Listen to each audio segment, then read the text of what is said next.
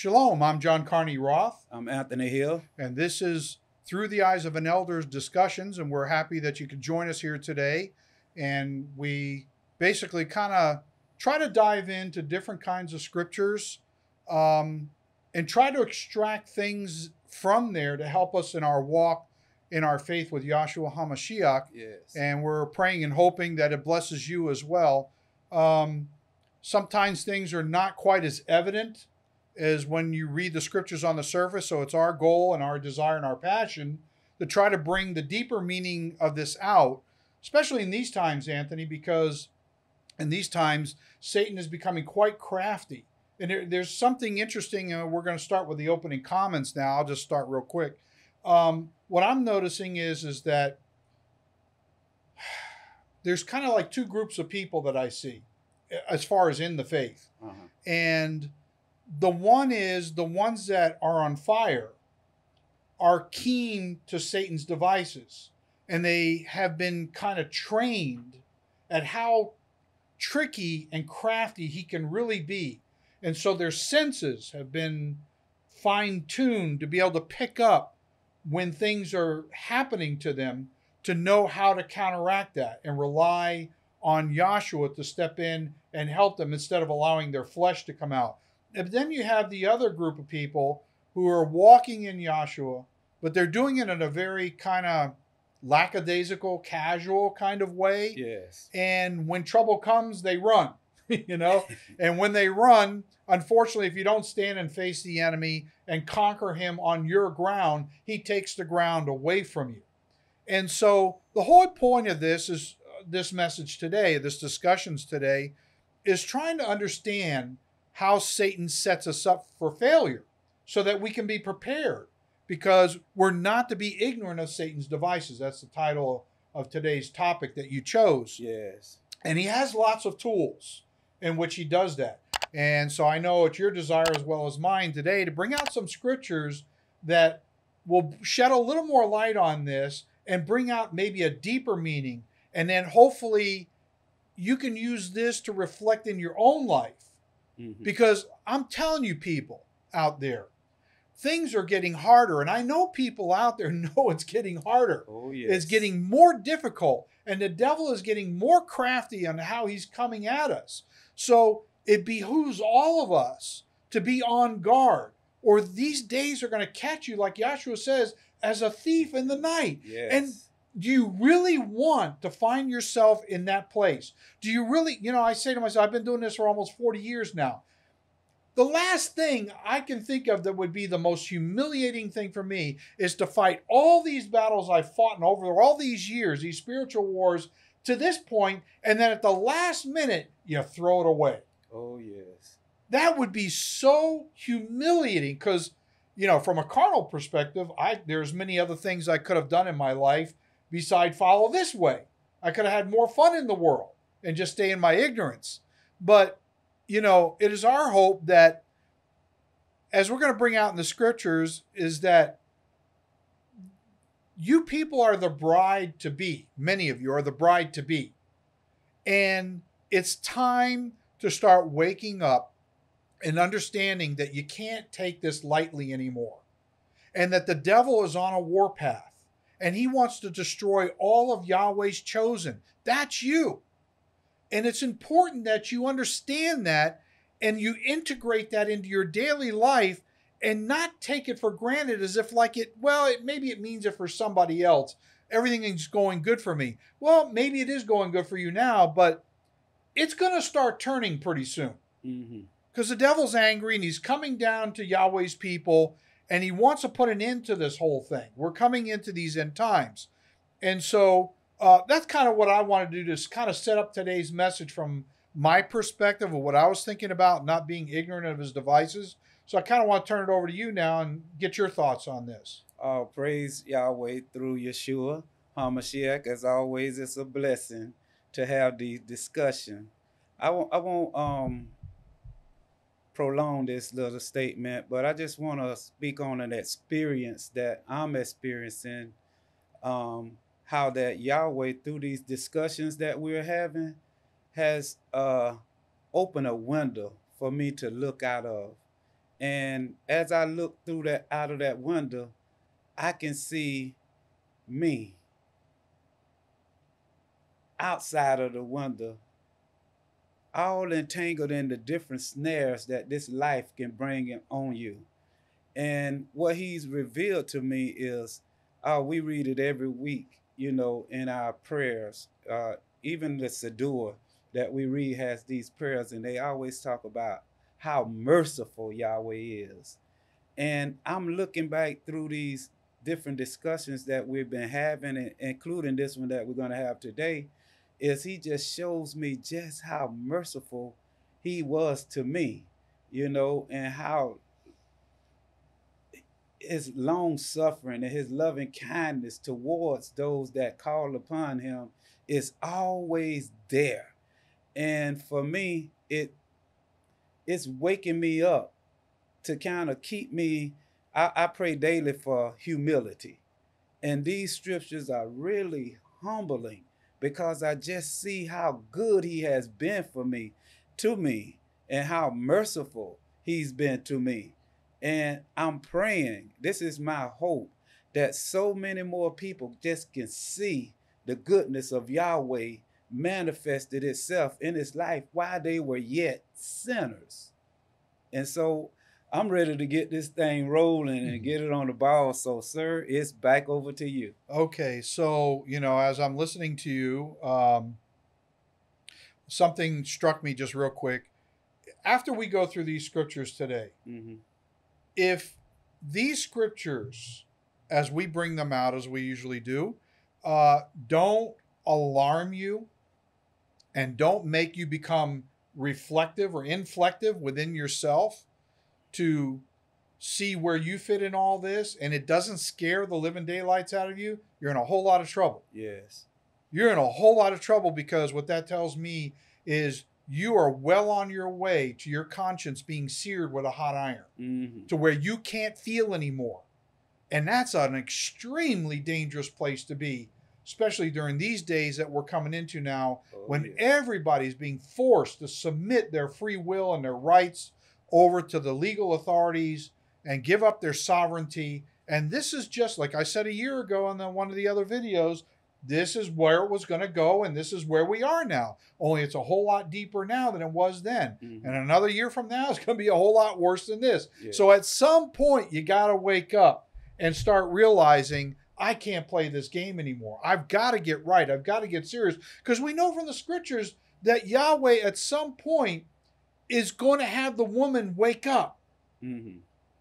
And she's going to have to start repenting and getting rid of her other lovers. So, anyway, without any further ado, we've gotten through our opening comments. So, as we, I said earlier, are you ignorant of Satan's devices? That is the question. Are you ignorant? And this is only just a small, um, a small way to look at this. There's just so many different ways mm-hmm. uh, that Satan can get to us in our life and you're not going to win them all initially, but right. like you said, there's grace, and Yahweh has mercy and compassion, and He can deliver you out of the ones that you're not so smart about. But the whole point is, hopefully, you learn through that so that the next time He comes around, He tries to play the, the same game, you're onto it. Exactly. You know, you're onto it, yes. you know? Yes. So you picked on, we're going to go through three points here today.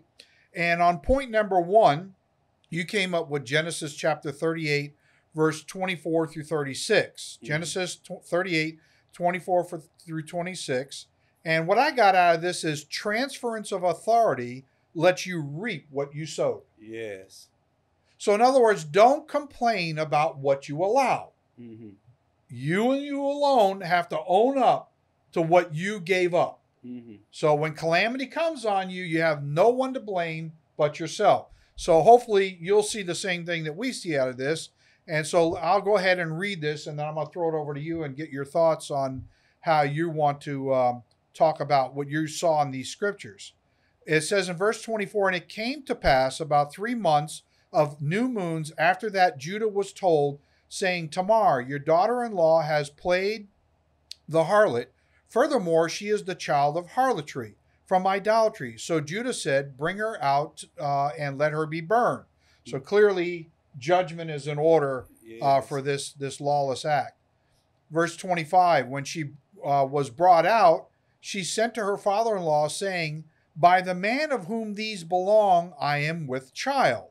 And she said, Please determine by intently looking at and scrutinizing whose these are the signet, which is a seal, and cord as a twine bracelet, and staff of a tribe for chastening and correction. That one got my attention. Yeah. Okay. Because there's a lot in there about that. Mhm. So Judah acknowledged in verse 26 by intently looking at and scrutinizing them and said, She has been more righteous and clean than I because I did not give her to Shelah, my son, and he never knew her again. Your Mhm. thoughts? Baruch Hashem. For me, when I was when um I believe Yahweh gave me this as an example, it's people who have been put into authority. Today they call themselves pastors or rabbis, but they're more like a shepherd, like a Moses with the staff in their hand. And the staff is to keep people corrected, or to have uh to be a protector Mhm. of the people mm-hmm. and it was so many different things uh, that came out to me, but I'll just uh, use two examples. In the in the military, when I was there in leadership, they they teach two basic things that help you develop yourself as a leader. You know, and and uh, one of them was seek responsibilities and take responsibilities for your actions, and the other was to set standards and maintain those standards. Yahweh has done both and has uh, enabled us through the Ruach, through Yeshua, to maintain those those uh, Right. gifts that He's given us. But a lot of us, we like to give the gift over, and so we secretly go and do things by not even stopping to recognize because we've up there now as we discussed in the Korah film, how quickly you can get Mm. above yourself and then take on the authority and and the uh, judgment upon yourself to towards others and not even perceive it within yourself. It's it's more examples through the scripture, even with uh, our father King David was the, in the same mindset as Judah was. Right away, judgment comes in until you find out, oh, I'm that guilty person. So how condemnable are you on yourself versus on another? You know, how merciful was he when he found out that, oh, the punishment that was for them really should be for me? And so Judah, right on point, you have to give him the um applaud him, really. Right. Um, because most people would say that's not mine and still try to cover it up further. So the righteousness that was still within Judah to um, exemplify, uh, bring out itself, to me was a, uh, how would you say it? It was an example how I should be. An you act know, of humility. yes Yeah. it, you you should humble yourself and say, "Oh man, I was so quick, and I for- how quick did I forget about the And- wrong and that I did?" You know, uh, also what's striking me about what you're saying is imagine being in his position, hmm okay? He's a leader, and yet you're having to humble yourself to a, a, a- a prostitute and admit she's more clean than you. Exactly. Wow. I mean, if that doesn't mess with your values in your head, but you have to be pretty objective and humble person to make that kind of a statement. Exactly, because you shouldn't vow and not keep the vow. Mhm. You know, and so this this thing started out with a vow, and and um, along the way, she was more clever than he was. Yes. You know, okay, if you're gonna uh, deceive me, now it's my turn to deceive you. Ah, good point. and, and Right, so right, right. so we have to watch out Uh-huh. about the, the the trickery that Satan uses to draw us in uh uh by not saying by not thinking that we know more than what we know always the uh, scriptures say, "Be be slow to speak and quick to hear." Yeah. Slow to speak and quick to hear. Judah tried to hide his stuff away, and he tried to send back and pick and and retrieve his stuff, so that stuff will never be found. But Scripture don't lie. Say, "Be sure your sin will find you out." And we Yeah. today we don't think about these things because we say, uh, well, it's widely taught that oh, Yeshua uh, grace is sufficient, you know, so I can sin and I can just repent and it'll be over with. It's so far from the truth. It's going to bring you out. If it don't bring consequences, the, the very thing it should bring is embarrassment that will bring you to your knees to And repent. is that not a law? hmm You know, because there's consequences. You only have consequences if you have a law. Right. So obviously, some sort of a law was violated, and that's why it brought a consequence on him. It, But he took it humbly mhm. rather than letting his flesh rise up and try to justify what he did or hide it or conceal it or something kind of way like that. and he couldn't lie because it was his signet. It was his staff. and everybody knew it was his. Yeah, right. So he had to concede. Right, But was he going to condemn himself and burn himself and say, well, burn me? right, No, he was going to forgive himself. Right. So he was forced to forgive her, right. You know? But how many of us don't do that? You know, how many will just, oh, I'm going I'm to forgive my, my, my, I'm going to have mercy on my mistake or my transgression. But your transgression, since um, you really don't know about mine, I conceal mine. Mhm. I'm not going to have mercy on Right, yours. You know, and it, it's all, it's so much scripture to it. I don't want to belabor this, but right. that's really what he was showing me. Humility through your authority. Care for the people that he's put you in Mhm. charge of. Really care for them. Like like he cares for the sheep. Yeshua, David said, Yeshua is my shepherd. You know, he the one that leads me. Lead them where they know that they're going down the right path. Don't deceive your people. Have a heart for the people like Yeshua has a heart for us. Yeah, that's pretty hard nowadays because most people I find are what I would say apathetic. Mm-hmm. You know, people write to me and stuff, and you know, I write back to them as soon as I can. I'm quite busy, but you know, I write back uh, for the most part, unless I miss somebody. And I would say almost without exception, they never respond. And you got to sit and you got to think, well, what was the whole point of writing in the first place? You know, Right. but uh, you know, I think that's just the condition of the body of Messiah today. I think there's a part of them that wants what they know they should be seeking, but at the same time, the devil is holding them back. Mm-hmm. And this whole series that that we're doing is all about enlightening the body of Messiah to say, listen, man, you know, how long are you going to play this game as this whoring wife that's apathetic and just doesn't want to get off the pot, if I could use that vernacular? Right. You know, Right. either go or stay, one or the other, do Mhm. something, you know, but just don't sit there. And you know you're playing the game. Right. You know you're playing the game. You're not fooling anybody, Right. you know?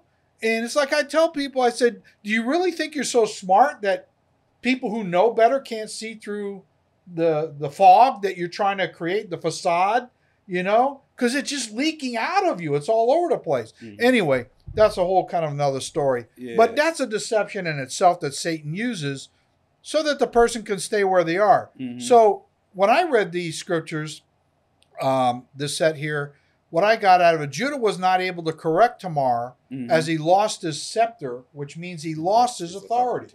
Mhm. And I'm I'm gonna now bring a few scriptures out that complement the concept of what you brought out, um, so that people can better understand from a little more of a New Testament perspective what the consequences are. Um, either way, when um, you break this this rule, Mhm. okay, Mhm. you, you know we know that Yahshua said just to give one, um, don't lose your crown. Right. The devil wants to take your crown and he wants to hand it to somebody else. Yes, he do. So if you lose your crown, it's nobody's fault but your own. Mm-hmm. It's not like you're ignorant. You were told up front. You were told what the name of the game was, how it's to be played, And when the end comes, if you lost your crown, you got nobody to argue with except for yourself. And you can't blame the devil because the devil knows the game. You know the game. You know, that's just what happens. So I'm going to show in Revelation chapter 2 through uh, verses 25 through 27 guarding the little you have now affords a much larger reward later. Mhm. Guarding the little that you have now affords a much re- uh, much larger reward later. Mhm. So in other words, to whom much uh, to little has been given, I'm sorry, to much has been given, much is required. right. And everything's relative in life when it comes to that. But in verse 25 it says, "But hold fast and guard from loss or injury what you have till I come. And he who overcomes and keeps by guarding from loss or injury my works until the end, to him I will give power and privilege of superhuman delegated influence over the nations that are pagan and non Jewish. That's a pretty awesome reward to have. Mhm. No politician on this earth even has that kind of authority. Can you imagine having that kind of authority? But it says we're going to be kings and priests in the Mhm. kingdom. Mhm. You are qualifying for a position in the kingdom if you hold fast to the works that he give you to hold fast to. Yes. Verse 27 He shall rule as a tending shepherd of them with a rod of iron, that is a baton of royalty. They shall be dashed into pieces like potter's vessels of earthen clay, as I also have received from my Father. Any thoughts? It's it's just like you you said, but I, in this way, um, I think he says, "He that is faithful over little will be faithful Mhm. over much." It's what do you appreciate what you have? How much do you? How thankful are you are for what He's given us? And He's given us a lot. He's laid His life down that we can have life. So, do we do we walk this walk in vain? Do we walk it to his shame? I mean, if you got this staff in your hand, if you're a shepherd over people, life, not not just over a congregation, in your own home, In your own home. you right. know, Mhm. on your job if you're a leader, are you leading righteously? Are you leading uh professionally? Are you doing things the right way or are you taking these shortcuts? Cuz temptation comes from every area. You know, I'm still got Judah in my mind. He's going on a trip. But right away, on the midst of his trip, like many you read about today, all these businessmen go on these trips and they want to hire the harlot. you understand what I'm saying? Right. It's like he want to hire a harlot on his way. Maybe this is where this concept come from that we still deal with today. Who knows? But I'm saying, if you're walking a righteous walk, don't turn into her as King Solomon walked, because her bed is full of dead man bones. Hmm. Don't get it. Don't get your scepter taken away from you. Yeah, and it's um, it's easy for that to happen when you're ignorant Mhm. of Satan's devices. Yes. Don't ever think you're smarter than him. Oh no. You know, don't ever think you're smarter than him. Um, you know, going back to Tamar a bit. So in scripture, women who wear a veil Mm-hmm. are synonymous with being a harlot. Right. So it's interesting in the Shemitic world how Arab women wear The A scarf, a veil. Mm-hmm. Now you can argue where did that come from, but the whole point is it's an ancient culture. Mm-hmm. Uh, but in biblical times, that's what it means. But I kind of want to bring it forward, just as kind of a little side note right now about the deception. And I was, you know, meditating on this, and Yahweh kind of showed me a little picture about it. So today we have this face diaper that we're told we have to wear. Okay. Mm-hmm. And I can't help but to wonder in some kind of a way if that covering of your face is also a sign that you've been given over to harlotry, to a system that's trying to influence you to do the wrong things, to follow an ideology that is not right. So much so that I see people who oppress other people who don't do it because they're angry because they're not wearing this face covering, okay, with this whole pandemic that we got going on. And so there's a war between these two factions, between the ones that feel that they're righteous by wearing this diaper face mask, okay, and the ones that don't. And so I'm like, people just giving in so easy to that without questioning the science on it. And it's not, you know, it's not my point to be political. I'm just trying to bring out about the idea of how easy it is to be dragged into something that seems like it's for the right reason, but it's actually for the wrong reason. Okay. So, like a lot of these diaper masks, you know, they're made with Teflon and PCBs, which are known to be cancer causing in the lungs. And you're inhaling those particles all day long. Just to mention that as a aside. So, are you, in the end, my point is when you give over to something so easy without questioning it, and you're being duped by uh, an organization or, or a person, or it doesn't matter what it is in this life, to succumb to this oppressive authority on you, to make you give in without questioning it, have you not caused yourself a problem in many different ways? And so that's kind of what I see with this thing with Tamar in a way, in a kind of different way, but a similar way. She was acting as a harlot to seduce Judah, to get involved in a situation without him realizing what he was actually being seduced into. And so this comes back to the craftiness mm-hmm. Of what the spirits are doing in the spiritual realm. They do it in the religious realm, they do it in the secular realm, they do it in the financial realm, they do it in the human relationship realm and the governmental realm, all these different realms. We're all being bombarded by deceptions all the time.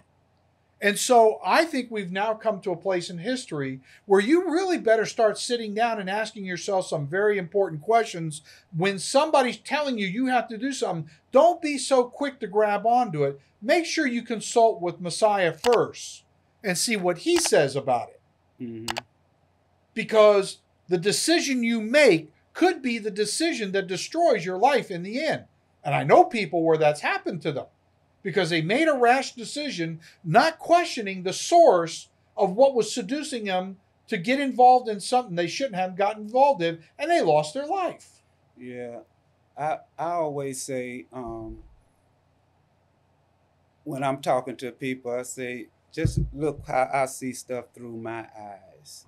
You know, just to uh, reiterate a little bit on you from a different perspective through eyes and I was I was telling the person, I say, I don't really get involved into the decision making processes people do, but I say I will ask that person that goes to the doctor and have an arm or a leg cut off to live.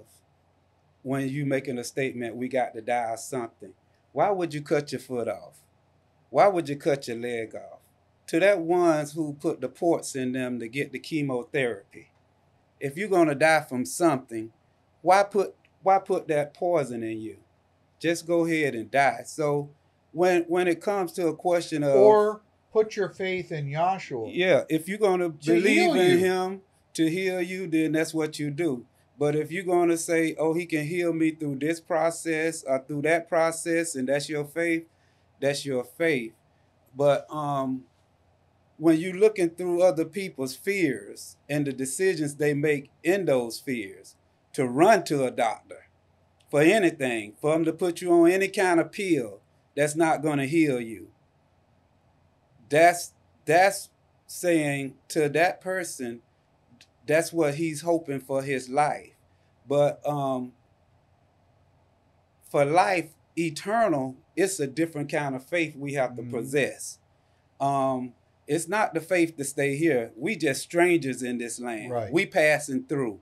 It's nothing going to keep us here but the word of Yahweh. And so if we're going to be against this stuff and we're going to talk about it, then we need to get rid of doctors and hospitals and medicines if we're looking through somebody else's eyes. Because I know people that will not go to a doctor. I know people that won't get blood transfusions or give anybody blood. I actually know that. But can I call it demonic or not? I, am not. That's their faith. It's, a, it's on their judgment and their call.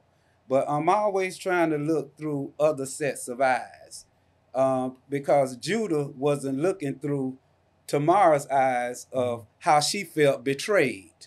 He was only seeing he had the power to do this and not to do that. That's not what we should be doing as believers. We should right. not take our power as an opportunity to take advantage over people. And mm-hmm. that's I think that's the bottom line teachings of Yeshua. Mm-hmm. Uh, be careful how you remove the mote out of somebody else's eye when you got a beam in your own eye. We really have to be careful because it can turn around and, and question you about something you may not be doing the exact same thing, but you might be doing something that they don't uh, particularly believe in or do. You know, that might be right along the same right. Is that possible? You know, and so I I I tend to try to I, I stay on the examination table. I'll put it like that. And like I was telling you, um, these discussions, they really are scary to me because the things that are happening here, they're happening to people that have the knowledge. Mm-hmm. And so we're in this society today, we're so quick to judge outside, but nobody's inside the house mm-hmm. judging, uh, making uh, corrections inside the house. But we'll go outside the house. Uh, I read some of the most divorced uh, people in the world are those that are in the faith. Yes. Where did this come from when we're so against it? And there are leaders, there are bishops and rabbis and everything that are divorced and remarried. I'm talking about saying they got mm-hmm. the, the the knowledge to do so. And this is what I want people to be aware of because this stuff scared me once I came in to see the attitude of people that, man, the stuff that scared you to run away from is you running right into it. And they telling you it's okay. Well what was the purpose of me coming over here if i was all right doing it over there? Mm-hmm.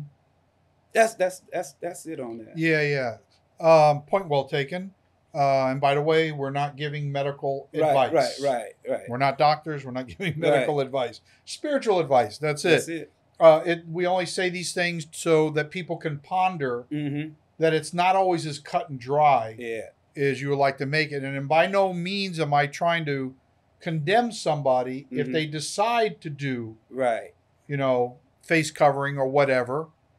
All I'm just simply saying is things may be a little more deeper mm-hmm. than perhaps you've given it credit for. Because exactly. after all, this is are you ignorant of Satan's devices? Mm-hmm. Do you mm-hmm. really know what's behind what got you to make the decision that you made? to go along with whatever it happens to be. Mm-hmm. That's the point. Yes. That's the point. Yes. Okay, so uh, in point two, uh, you brought up Judges chapter 16, verse 16 through 18. And what I got out of this was negative pressure to conform is a sign. Mm-hmm. Negative pressure to conform is a sign. Yes. And all of us have been in situations where some sort of a force or authority has exuded an, an enormous amount of pressure on you to make your spirit like cringe up inside. Mm-hmm.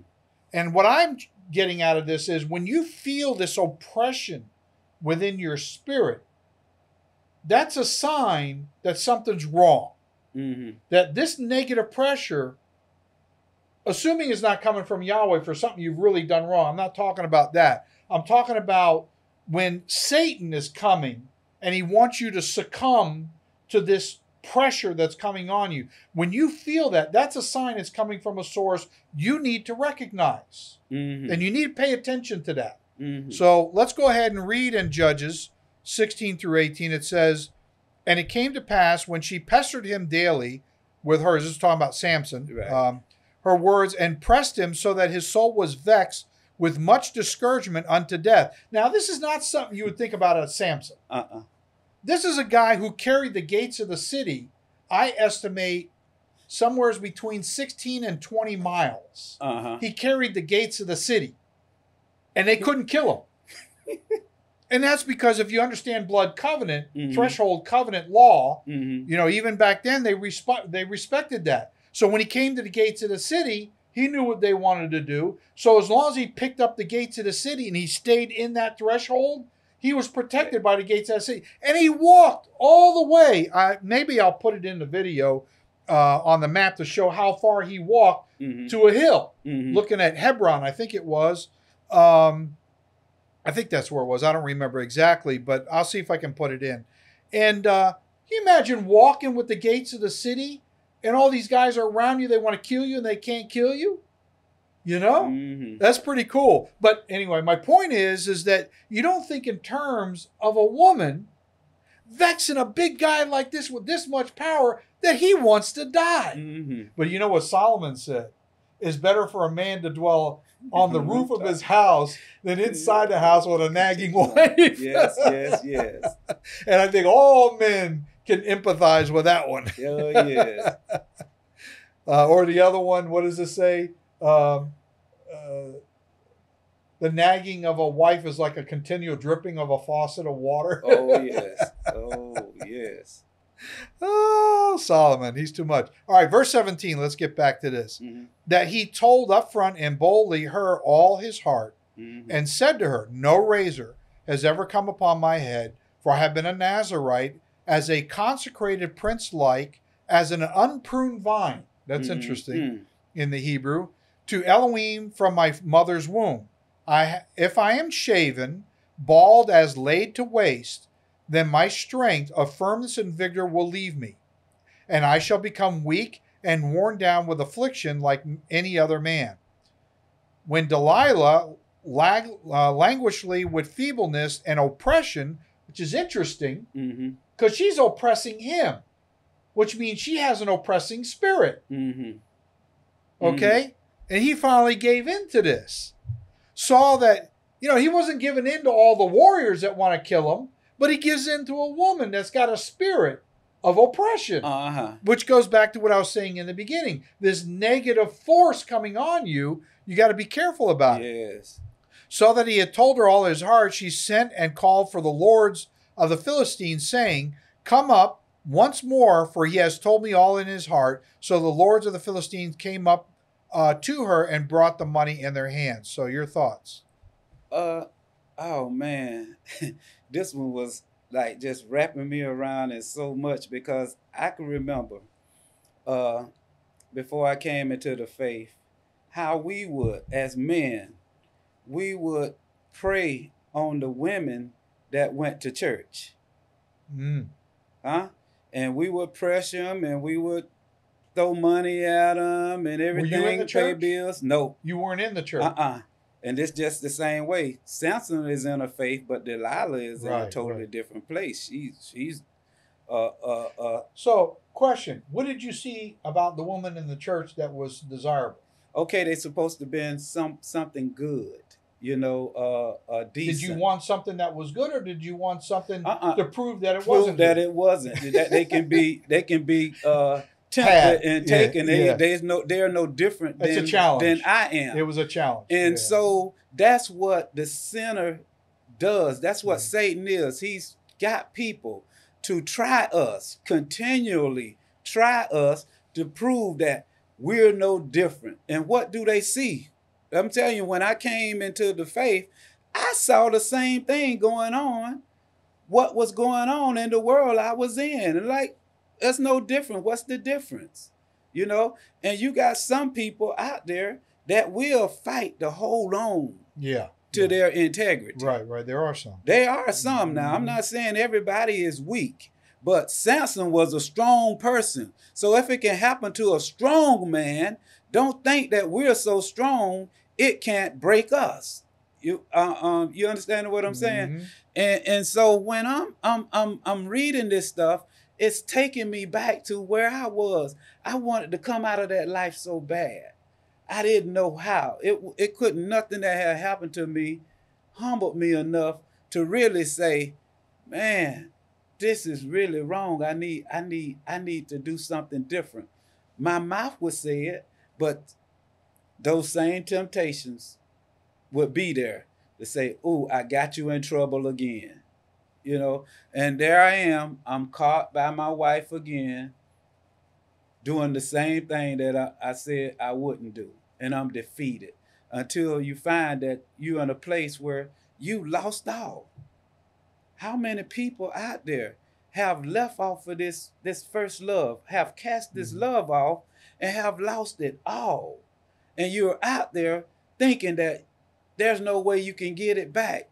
Change that mindset. You have not gone too far from the arm of Yahweh. His arm can come and get you from wherever you've fallen. I am a living witness of that. I, I, I wasn't on this side, but I was on a side that was hearing the voice that you can never get over there. You can never get in that place. But look at me. There's nothing too hard for Yahweh. And that's what I'm seeing in in in, in um the example he's given me through Samson. Not through his actions, but through the fact that once I uh, rescue you, know that it wasn't an easy task. Know that it was hard. So don't give it up so easily. Make a person fight to get this treasure out of you. It's a treasure inside of us. Uh, well, here, you know what I'm thinking is in this this scenario here. Uh-huh. yeah, what you're saying, I, I get that. But I think in Samson's case, I don't think there was enough fighting he could do to ward it off. And, I, and the reason why I say that is because all of us have sometimes a very hidden weakness mm-hmm. that we haven't identified, or maybe we have identified it, but we don't give it significance. And when you don't give something significance that you should give significance and attention to, that's your downfall. Exactly. And uh, the other day we were talking, and this is why I'm bringing it back, is mm-hmm. because you had correctly said he had a weakness for a, a particular woman. Mm-hmm. When the mother and father told him, "Why do you got to go to the Philistines? Are there not enough women in Israel that you can't have? Mm-hmm. You know, mm-hmm. are they all ugly? You know, is there not one pretty one over here that you can go after? My wife shaking her head at me like, oh, there he goes. You know, but the point is, he had his eye on that one. Uh-huh. But she had an oppressing spirit. So when he made a covenant with her, you know, when you have a consummation, a sexual agreement with another person, man or woman, um, there's a trade off in the spirit realm. Mm-hmm they get a little bit of you and you get a little bit of them. But if they happen to have something in them that has more authority over you than you have over them, you're in a whole lot of trouble. And I think that's why that spirit was oppressing Samson so much because like it had control die. over him. Mm-hmm. He wanted to die. If he didn't give in to it, he was going to die. He's going to die. Mm-hmm. So, like that junkie with the fix. Yeah, exactly. If I don't get this fix, I'm gonna die. You're right, and she and he knew that she wasn't gonna leave him alone, mm-hmm. and she was gonna put the guilt on him, the mm-hmm. Philistine guilt. You say you love me, but you won't tell me nothing. You know, mm-hmm. so the point here is is that it's self-deception now mm-hmm. and satan uses our self-deception or our denial about what a weakness we have why are we drawn to this so much mm-hmm. why is it so compulsory I've got to have that. You know, once you get into that realm, and it's for the wrong reason, I'm saying, then we're asking for a whole lot of trouble. Mm-hmm. And that becomes our downfall. Anyway, that's what I'm thinking. So that kind of led me to mm-hmm. bring up in Ezekiel chapter 3, verses 8 through 9, willing to take the pressure. Are yes. you willing to take the pressure? now, Delilah might have been fine, mm-hmm. okay? Mm-hmm. And that's a pressure unto itself. Mm-hmm. But can you stand up against that? Right. You know, especially if you have a predisposition to have a weakness for it. Mm-hmm. You know?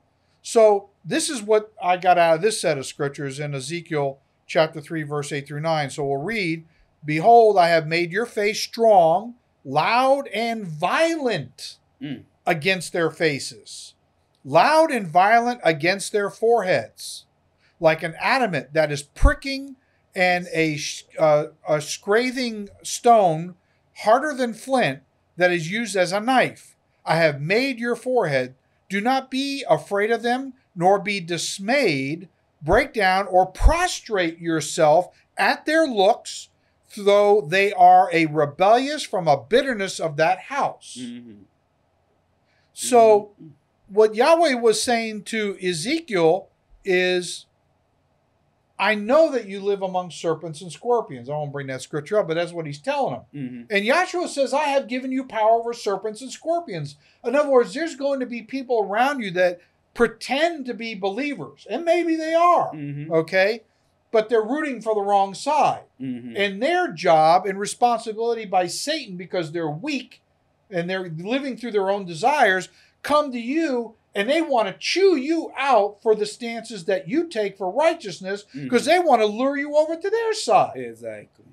So what Yahweh is telling them is, I know you dwell in a place like that. But Yahshua said, I've given you power over serpents and scorpions. He's not talking about snakes and scorpions. Mhm. He's talking about fellow believers or fellow Israelites Mhm. who claim to be believers, but they're a rebellious house. Mhm. And they don't like what you stand for. And so if you're going to stand for something, understand, like I said from the beginning, will you take the pressure? Mhm. Are you willing to take the pressure? If you're not, like they used to say in our day, if you can't stand the heat, get out of the kitchen. Mhm. can't stand the heat, get out of the kitchen. Mhm. So if you can't stand the heat, you got to get out of this thing. yeah. Go roll under the rock where you came from and don't come out if you're that afraid. Because we're entering the times now, Anthony, that you're going to have to have some kind of boldness. Yes. You're going to have to have some kind of boldness because the devil's coming after all of us in different kinds of ways with these strategies that he has. And uh, he wants us all to bow the knee. And that's Uh-huh. what this is all about nowadays. Uh huh. so uh, that's what I got uh, out of that scriptures. You got anything you want to talk about on that?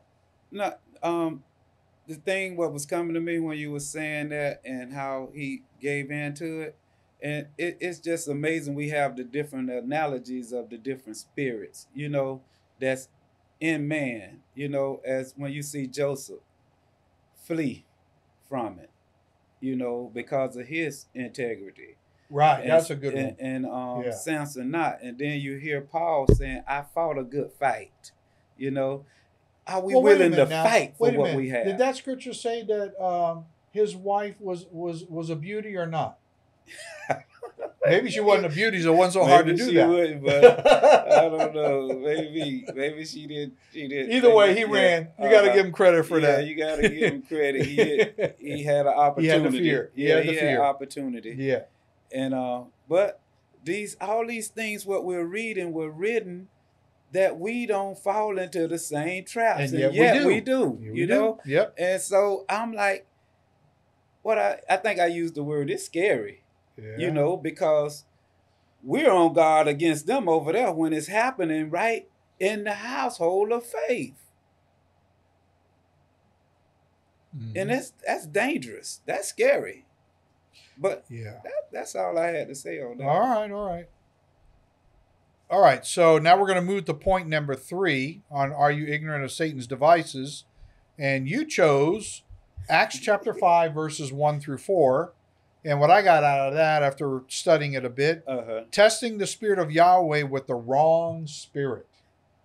Testing the spirit of Yahweh with the wrong spirit. Yes. Oh, that that one there, huh? Some people can do that. You can't trick So it. let me go ahead and read verse 1. But a certain man named Ananias of Hebrew origin with Sapphira, Mhm. Sapphira is a word from the Israelites, uh, his wife sold a possession from an acquired estate. Found Mhm. that interesting. Mhm. And he kept back through embezzlement. That was an interesting word. Yes. Part of the proceeds. His wife also being aware and conscious of it, and brought a certain part of it, laid it at the apostles, an ambassador for the gospel, with miraculous powers at his feet. You know, today a lot of people like to call themselves apostles, but they don't have miraculous signs, wonders, and miracles following what they Uh, say. Right. So uh, that's one of the uh, keys to trying to figure out who's an apostle and who's not. hmm But maybe they're apostles in training. I don't know. Anyway, let's go on. Verse 3. But Peter said, Ananias, why has Satan filled your heart to lie, to deceive through falsehood to the Holy Spirit, and keep back through embezzlement part of the price of your land yourself?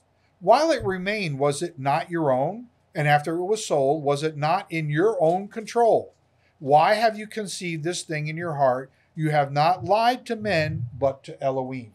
I'm telling you, John, this thing, I'm telling you, he opened, he, he let me look out of a window to look back because what they're doing is what we used to do.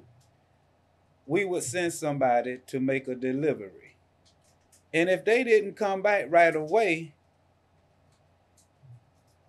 we would like go looking because something got to be wrong. Now, three hours has passed and she ain't seen her husband and she's not worried about if something's wrong or not. But she goes right into the same place where he went to do the same thing that he did. I'm like, even in the sinful world, they got more sense than that. If he didn't come back right away, alarm came out. Oh, either the cops got him or he, he's got robbed. So don't answer no phone calls that's coming from him right now because you need to see him in person, you know? And so time gives you an opportunity to rethink yourself. Is this what I really want to do? You know? And I just Which made, goes back to what I was saying earlier. Uh-huh. Don't be so quick to take the bait when the pressure has been put onto you. right. You have no legal responsibility to submit yourself to a lesser authority hmm who's trying to portray themselves as the superior authority in that moment. Know that you are a representative of the kingdom of Yahweh. You are an ambassador for that kingdom here on the earth, and you ain't going to tolerate that. You maintain jurisdictional control over the situation. Exactly. Go ahead. Exactly. Because Paul wrote it. Paul said, have no fellowship with unrighteousness. Right. For what agreement has righteousness with unrighteousness? I'm, I can see this stuff so clearly. That's why it really humbles me because I see all the cords that's been broken off of me that I can sit here today, John. That it's only by his mercy that I'm sitting here so I can see just how much he's done for me. And that makes me just that much more thankful because all the three hours you haven't seen your husband and y'all plotted to do something wrong. And yet you're not worried. You just whether i see him or not i'm just going to go right on and do it. And they ask you a question about your husband. That's your next chance to say no this wasn't right. I'm not going to do that he gives us opportunity after opportunity to save ourselves from Satan's devices, from his snares. And and that's what Peter was trying to do, give them an opportunity to come you- clean. Repent. You have a chance to repent, but you're still going to try to think you could trick me. As an unbeliever, I was going to make this delivery, John, and just as clear, I can still hear that voice saying, This is not something you do. And it wasn't something I do, you know? Because this this little voice in me been crying. He was so tired of that life. He wanted out. It's got to be a better way. And he didn't know how to get out because he was so wrapped up in it. Mhm. But he was tired. And yet he said, I'll go anyway. And when he went, the trap was there. Now, it worked out for my benefit Right. because I'm here today. But Satan, I know he meant it to destroy me. Oh yeah, yeah. Because in my in my voice when they caught me, I I cried out and I said, I know I'm not going to get out of here. I'm going to die in prison. Mhm. But if I die in prison, just let me die having a right relationship with you. How many want to get it right when you keep giving opportunity after opportunity to get it right? How long you gonna think you're gonna have to get it right. You might have longer than three hours, or you might have less than three hours. But are you going to take that time to rethink it and repent from the way that you're going? You know, uh, the thing I get out of that is the average person. I'm not saying to puff you up, Mhm. um, but the average person say wouldn't say that. They say, "I want out of this place. I Mhm. want out of this place." That's not what you said. Right. What you said is, "I'm going to be here for the rest of my life. At least let me have a right relationship." Yes. It's kind of like Solomon in a way. Yahweh had said to Solomon, "Because you didn't ask for riches Mhm. and all this other stuff, and you just wanted the wisdom." Mhm. He gave him both. Yes. Yes. You got both. You got out of the prison and you got a right relationship with Yahweh. Yes, yes. And I can't let that puff me up. I can't take that as an opportunity to go backwards. Right. You But know? you also could have entertained Satan's thoughts, which is, I got to find some kind of way in the flesh to get out of this place. Mhm. Let me get the best attorney, blah, blah, blah. And you probably would still be sitting there to this day and we wouldn't know each other. Yep. And I went I pursued the best. I got them, Right. You know, and it was unbelievable. But at the at the same time, his voice, remember what you said. Remember Mm-hmm. what you said that I can't I can't concoct up a story. I got I got to be guilty of this. Yeah, exactly. and go head on along with what I'm thinking. right. And he he turned around. I couldn't see it. I know he turned around because I'm sitting here today. Sure. But I'm looking at these scriptures and he's showing me at the window how long you had to make that decision. I had a lot of years to come to that place. She only had three hours, but she had it with the knowledge that it was wrong. hmm But in my wrongness, knowing it was wrong, didn't know what right really was because what I'm seeing, what I'm doing, they doing the same thing over there. So Mhm. who is right? Right. Everybody good. So just let me send some money over there, a donation, and that'll clean my little heart up. You know? That was your atonement. Yes. How many people go to the priest to this day Yeah. for him to forgive their sins? Right. And Right. not not go to Yeshua. Yep. All right. Um, the next one I found to support this Mm-hmm. um, testing the spirit of Yahweh in 2 Corinthians 13 5. And it says, Examine, entice, and scrutinize yourself as to whether you are in the faith, Mm-hmm. of a moral conviction based on the reliance of Messiah. Test to see if you are approved of yourselves. Do, uh, do you not know yourselves that Yahshua HaMashiach is in you? Unless indeed you are disqualified, unapproved, and rejected as morally worthless. Morally worthless. So we are told to test Yahweh, Mm-hmm. but don't test him in a negative way. mm-hmm. You're supposed to test him in a positive way Mm-hmm. so that you can find yourself to be approved. Mm-hmm. Two totally different concepts Mm-hmm. altogether. You got something you want to say about that? No, I'm just looking at that word moral because that seems to be lost It is in, long. in, yeah. in this in this walk Right. today. The, the moral values of people, and it weakens their integrity because their moral moral values have dissipated. Right. You know, and it's it's just it's sad. It's scary and sad that we're not examples. We're Right. supposed to be a light. And yet we're taking that light and putting it up under the bed. Mhm. You know, and it's it's sad that uh we was talking earlier about people seeing this light that we're putting out and yet not coming to that light. They They're will. not coming to us. They will. It's the light. They Yes. will. Yes. Somebody got to be banging on the door, and that's what Mhm. we're trying to do. Yes. You know, uh, sadly, when I look out there, um, I don't want to put down teachers and stuff. It's you know, but the stuff I see out there is a bunch of gobbledygook. hmm You know, hype, money, um, some new crazy angle on something. At the end of the day, does not refine your character. Prophesy to be good things. Yeah, yeah, and uh, there's not a lot of good things to come. Other Mhm. than that, the time is short. hmm the shorter it gets, the better it is. All right, so the next one I found uh, to support this Malachi 3, verses 10 through 11. And what I got out of this is a right kind of testing, along with the Mhm. one we just read. Mhm. So in verse uh, 10, it says, Bring all the tithes. He's talking to the priest.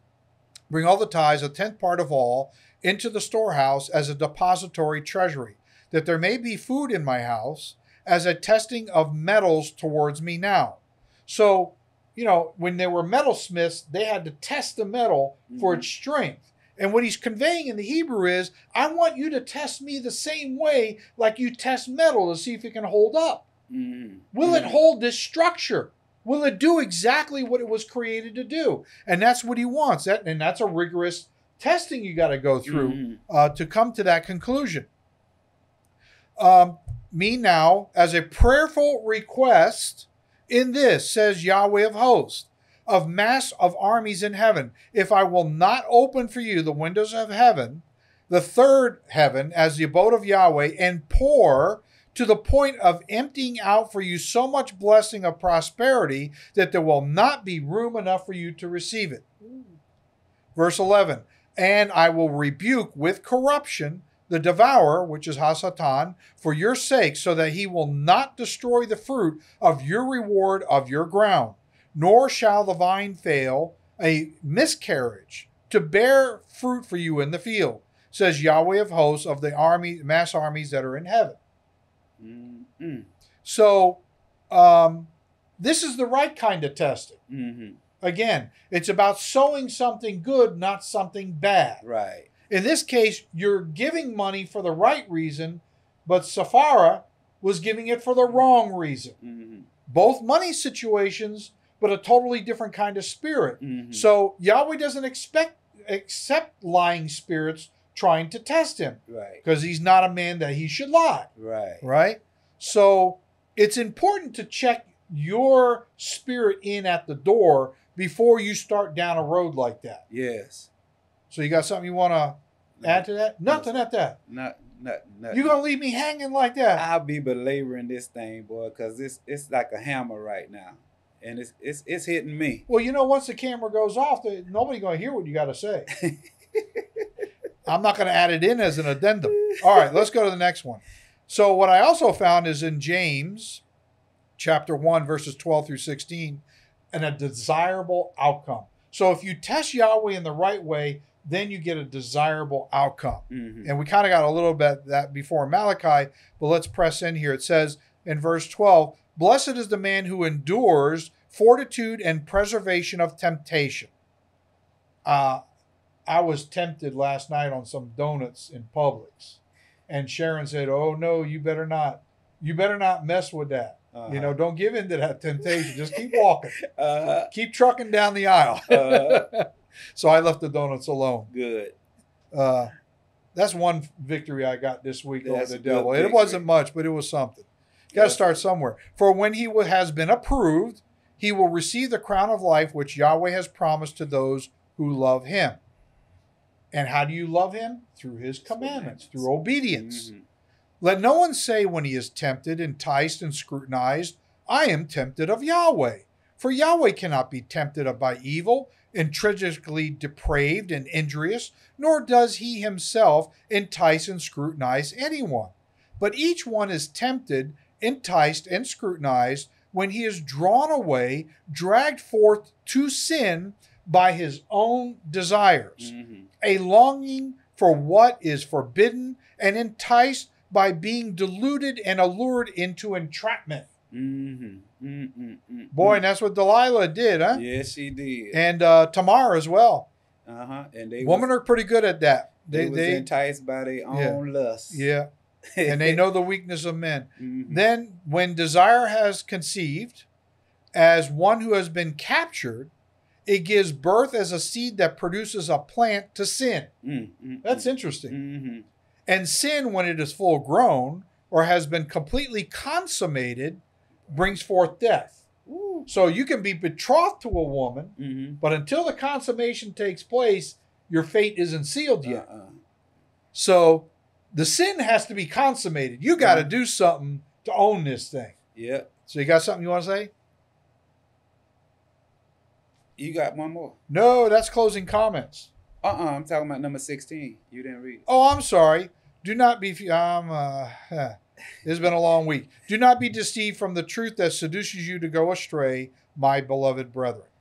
I, I like in there where um, he just reiterates to us to encourage us that if you go, don't use me as your crutch to go, because you you going because of your own desires, your own lust.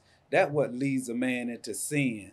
So don't use my grace and my love and my mercy as a right, crutch right, right, right. you know and and man i'm telling you when i say uh it's like Flip Wilson eyes- used to say, you know, the devil made me do it. yeah just seeing these scriptures and seeing how you put it together Uh-huh. i'm looking through your eyes right. and it's blessing me so mightily you know because it's like iron sharpening iron it's strengthening me and that's what yahweh does he strengthens when i can't hear him and i and i'm and, you know i might be hearing him and don't recognize him but i Mhm. will always want to recognize his voice but when he speaks through somebody else and just opens up this window Right. in my mind and I can see, you know, and then it pricks me in the heart to say, that's him, you know. I know this this teaching, this discussion is coming from him. I know it's coming from him because it's a warning, not to anybody outside this room, but it's a warning to me sitting in this room. Uh-huh. Look at all these people. I blessed them mightily. Look at all these people. I prospered, I prospered them mightily. But look how Satan got in. Be careful. Don't let don't let that same thing come upon you. And so people say, Anthony, why you walk so tight? Why you so serious all the time? My soul is at stake. A price was paid for me to be sitting here. So it's serious to me because somebody died because of me, because of my lifestyle. Somebody had to die. And I'm talking about I'm, I'm talking about the one that gives life, sent his only begotten son into this world. Watch out. You can't use him as a crutch to sin. That's my thoughts on that. Yeah. Um, you know, I think one point that you touch on, I think is something that even I'll say even for myself, um, take too much for granted Mm-hmm. is that somebody had to die Mm-hmm. For for me for this. Yes. And you know, you go through life daily and you just you take a lot of things for granted. You take your own life for granted, you take Messiah for granted, you take your wife, your kids for granted, your Mhm. friends, you know, whatever else, your money, you know, and all that kind of stuff. Um and especially nowadays we're so bombarded with so much stuff on our plate all the time. It's easy for this world to choke out those concepts. But yet, that concept you're talking about is the very root and foundation for that tree. Mm-hmm. That's what holds that the rest of that tree up from the ground. Mm-hmm. That's where it gets its nourishment from. So as soon as you start forgetting the root of that olive tree, which is Yahshua HaMashiach, who supplies the nourishing sap, as it says in Romans chapter 11, to the branches, which is what we are, um, you start getting, you start becoming complacent. Yes. Easily. And it, it becomes a slow roast, I like to call it. Satan begins to roast you very slowly. mm-hmm. Um, he takes his time. He's not necessarily in a big rush. He knows you inside and out. He knows more or less what Yahweh is doing with you or what he has planned to do with you. And much of what he probably wanted to do to you, Yahweh didn't allow it, but you didn't know it. Right. So you can't even be thankful about that which you didn't even know. mm-hmm. So, a lot of these things are secret things in the spirit realm that are withheld from us. And so, it's hard to appreciate things you're not consciously aware of because we're all operating so much in what I call the ancestral mind. And the ancestral mind is the mind you were born with when you came into this world. We might Mhm. call it the carnal mind. Right. But the ancestral mind is a filter that when we see and we hear things, it's all filtered through that filter of what you've been trained as from the time you were a child. Yes. And a lot of that stuff doesn't serve you well. And instead, you got to start seeing these things through spiritual eyes. Mm-hmm. So, in order to understand Satan's devices and not be caught up and unaware of these devices and tools that he's using against you, you can't be ignorant. You've got to understand them. And sadly, I had one believer say, Oh, I don't study spiritual warfare. I don't know about spiritual warfare. Well, sadly, that person, because he didn't heed what I told him to heed in studying this, it took his whole family from him. Mm, mm, mm. Not long after that. Whoa. And that's sad. Yes, it is. Because I watched this person stick his head in the ground, and because spiritual warfare didn't interest him, well, then why are you in a spiritual walk if you're not in a spiritual warfare? Mm. When you sign that contract, Satan says, you you now in opposition to me. Before you were on my side, you're a traitor. Now I have a legal right to come after you. You damn well better know spiritual warfare Mm-hmm. If you're going to sign a contract with Yahshua, because that contract's in blood. Mm-hmm. And that blood is serious. Mhm. And that blood will teach you about Satan's practices and his deceptions that he wants to use to take you out of this world. First, he got your family. Next, he's got your life. Then, what are you going to do after that when that's gone? You can't redeem it back. You don't want to find yourself coming up in the third resurrection, which is the resurrection to condemnation, Mhm. which is the lake of fire for the Mhm. second death, Mhm. from which you're done. Mhm. At that point, you are done. Finito. It is over. There is no more resurrection from that. You will not exist anymore. You had your day in the sun here when you had it, and you thumbed your nose at it Mhm. against all the admonitions that you were told. So, for those people out there that are struggling with this, you're going to need spiritual warfare more than ever. And you're really going to need to know how Satan uses various devices against you. Start with the ones that you personally know are your weaknesses Yes. and get on your knees and ask Yahshua to help you strengthen that which is weak so that you can put on the full armor of Yahweh so that you can withstand the wiles of the devil when he comes into your life. Amen. Amen. That's the end of today. We want to thank you for joining us through the Eyes of an Elder discussions. It's been a pleasure. We pray that it's been blessing to you as it has been to us. And until the next time, shalom. Shalom.